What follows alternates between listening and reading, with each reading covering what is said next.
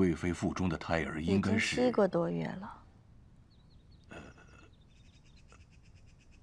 可这脉象怎么了？啊啊！贵妃的身体可有不适啊？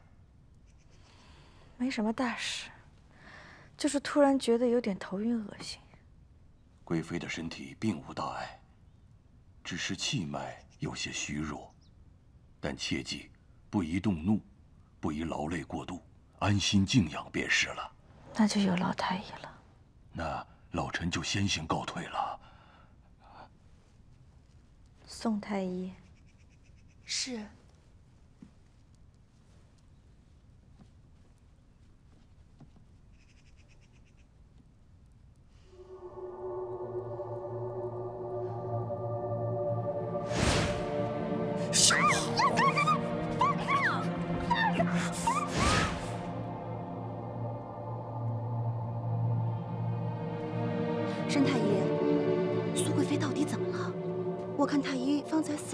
之隐，哎呀，这莫非胎儿真的有异样？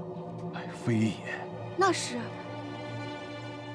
此事不可言明啊。